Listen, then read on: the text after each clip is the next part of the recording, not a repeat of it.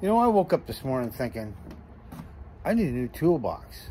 I deserve a new toolbox. I should go buy a new toolbox. I cut, you know, I work hard. I cut the grass once a week. I fix what needs fixing when I get around to it. Uh, I think I'm going to treat myself. Then this happened.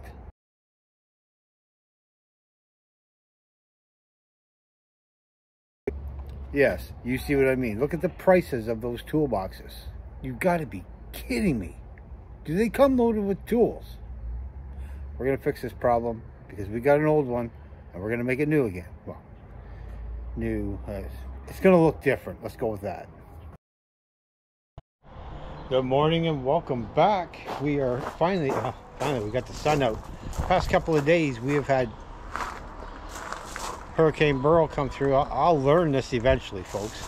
We had Hurricane Beryl come through and uh, dumped a bunch of rain and whatnot and messed up my backyard. And have a quick look. Well, this is the one they were calling for around noon. Coming down pretty good right now. Hopefully, we're catching some more free water. Of course, this water is free too. Unless you live in Toronto. They want to tax the rainwater, I hear. Someone was asking about this uh, little decor here. You guys all know I made that. This here, R48. I don't know if I told y'all. Hendrick Motorsports Certificate of Authenticity. I can't see it, but come off the 48 Kobalt car. Jimmie Johnson. Fun fact. But that is not what today's video is about. It is about this. Yeah, the shop turned into a mess yet again. You just get it cleaned up and all of a sudden it's a disaster again. So we got this old toolbox that was holding, well, scrap pretty much. So we're gonna give this thing a quick sand. see if we can make it useful again. We've got a mess pretty much everywhere.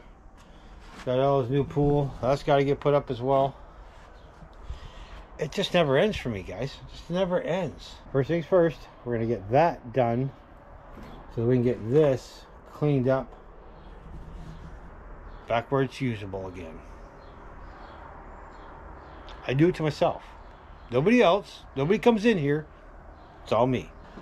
So we're just going to run over that toolbox with some 220 real quick just to scuff it all up so that the paint sticks better. I think we're gonna go flat black. But first, as much as I don't like chrome, I'm gonna cover up the handles, the pieces in the front.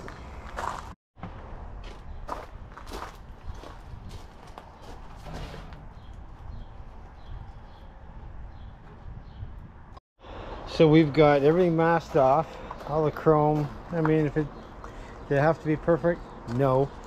Uh, but if you're going to go this far, you might as well mask what you can and see how it turns out. It doesn't turn out very well, we'll just cover it all up. But some splatter over here from lathe work. But other than that, it's not in too bad a shape at all. So what we're going to do now is we're going to hit this with some 220. Uh, scuff it up a little bit. And we're going to hit it with some flat black. Why? Because black's my favorite color. And that's what I had on the shelf.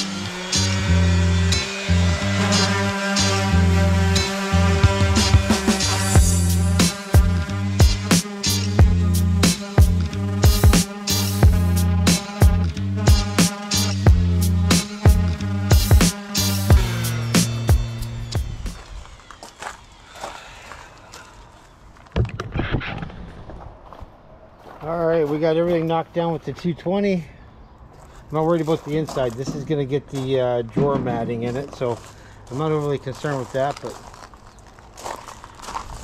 not too bad. I'm gonna wipe that down and we're gonna spray it. Know, you may ask yourself, why are you painting a toolbox? Well, first of all, I want black. Second of all, I uh, price toolboxes, and uh, if you have not priced toolboxes lately, uh, you gotta go get a second mortgage on your house just to buy one. So there's nothing wrong with this one here. I fixed the one drawer over there, so everything works fine now. I even got the keys for it. So I might as well paint it. All right, so I got all the drawers set open so I can paint the tops. Again, Not worried about the inside. And in true fashion, I hope I got enough paint.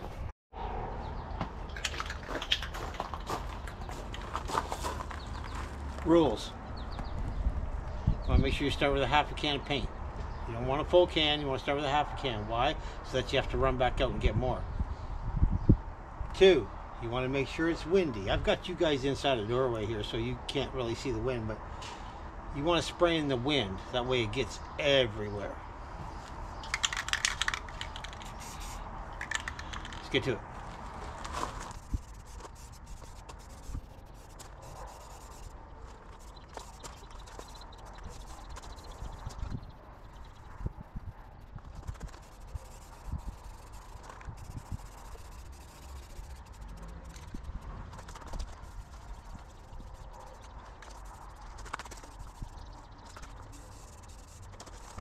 Well, a half a can is covering pretty good so far. That's not too bad right there. The front's pretty much done. It dries quick in the wind. That's not too bad over there. Now we got to get the top and the back. But I mean, that's not bad at all. I'll get this finished up and show you when we're done.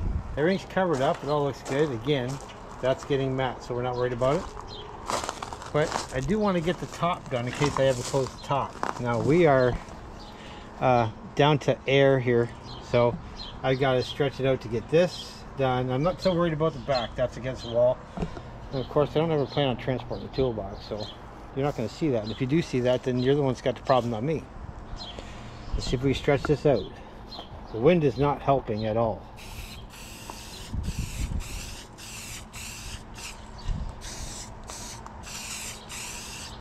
Come on, yeah, you can do it. You can do it. I know you can.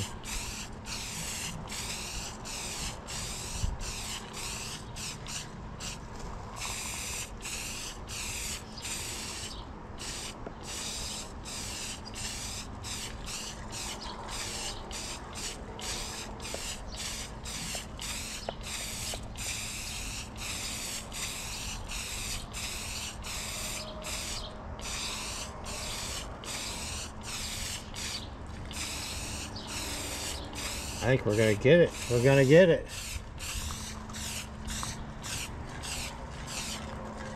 Oh yes. All right, now I just gotta go over some of the spots back there where I see red showing through and uh, like right here. Oh, we're running out. And uh, we'll let her dry up and then we'll get back to you. So now once that dries, I now gotta tackle this mess, this mess, finally get everything put away. Uh, I have, that toolbox was nothing more than just a catch-all.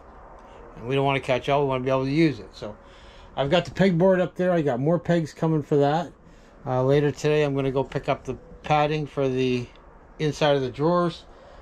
And uh, I'll end up showing you the finished product when it's done. But so far, it ain't looking too bad. Well, it is the next day, and I knew it wasn't going to last. Here's what I mean. See the red on the back there? Where I said nobody's going to see it from the road. Same with the top here. Drawers, not really a big deal. I got matting to put down there, which was very good today, but I did it. I went and bought another can. I think that's going to bother me, so I figured I might as well get it done. And yes, you're not going to see it, but I'll know it's there. Let me get this painted up and you're dark again. Let me get this painted up and then we'll see what it looks like. Well, I must admit, it does look a lot better now. I even painted the chrome strip that was on the front. Worst case scenario, I could take the paint off with a piece of steel wool, but look around here at the back. It's drying up. I just just didn't want to open the lid and a big red blob looking at you so. Again nobody else is going to see it but I know it's there. So we're going to let this dry up and then we're going to put all the matting in the bottom of the tool drawers as well as the top. The paint is all dried up. Doesn't look too bad. Hmm. Okay. Jen was at Dollar Tree the other day. That's what she came back with. Non-slip shelf liner. 12 inches by 72 inches. So that's six feet long, foot wide. Cut her down, and it is non-slip. $1.25 from the Dollar Tree. Can't beat it. Let's get the drawers lined up and then this thing's going to be finished. Well, this escalated quickly. While there's no denying that the bottom painted black with this on top looks pretty good, right?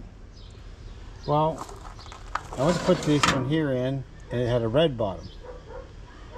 The red was showing through all the mesh. Well, it looked terrible, so we gotta wait a little longer because I just painted all the inside of the drawers. So, once all this dries up, we'll get the mat put in place, but I think that looks really good. Not bad at all. I'm going to cut the rest of these as it's ready to go as soon as it dries. Well, here we are. That looks much better. Like I said, the inside is painted black. That sits a lot nicer. I mean, you can't see the red glaring through there, which is, you know, you're not going to see it from the road, like I said, but I still know it's there a quick little walk around. Now this is a total of 12 feet of this drawer stuff and I'm still short. I got them all except this one right here. And uh, like I said before, now we can call it done.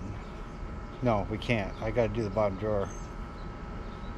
I always get ahead of myself. Well, story of my life, I've come up short. I don't have enough pieces to glue in that bottom, so the bottom is going to have to wait until I get another roll. Chance of me getting another roll are probably pretty slim because I'm never going to remember to do it unless I text Jenny while she's at the store. She'll remember. She don't forget much. Trust me. But here we are, all set up. I got to get a hold of Puddin' Fab Shop because I need to get a bunch of stickers. I've been meaning to do that for a long time. Uh, it's taken me a long time, but it's done. My work day, it ain't done.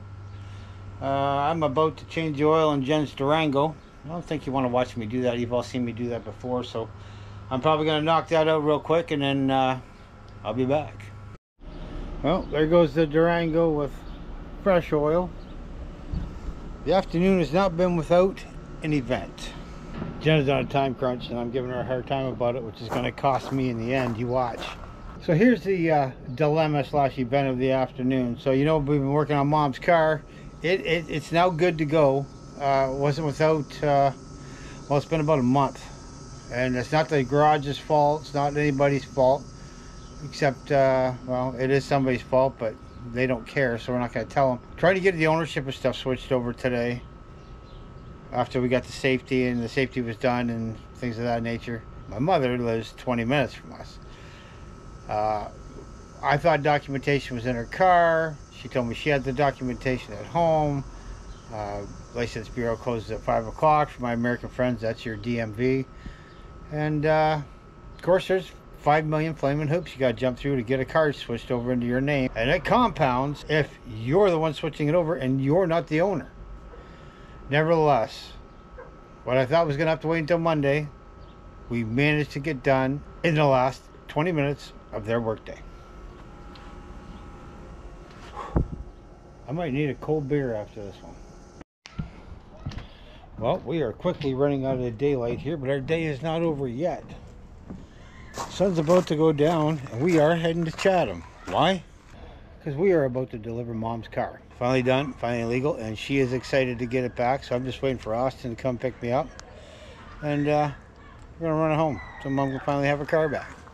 Well, we got mom's car delivered to her. She was very, very happy to have it back because it gives her a little more independence. All I have left to do now is fill this up with some tools, uh, stickers. Gotta get some stickers. No toolbox is complete with those stickers. But got a few things in here. This is my air, some pliers, some heavier stuff like it's a bigger drawer. It will not be filled with junk. It'll be filled with tools that I use because when you fill them with junk, nothing gets used, everything gets lost. Anyway, that's all I got for today's video. Hope you all enjoyed that. Just trying to make something out of nothing. Actually, I'm cheap. I'm trying to save a dollar. In fact, I think I saved a few hundred dollars today. Thanks for watching. See you all in the next one. Later.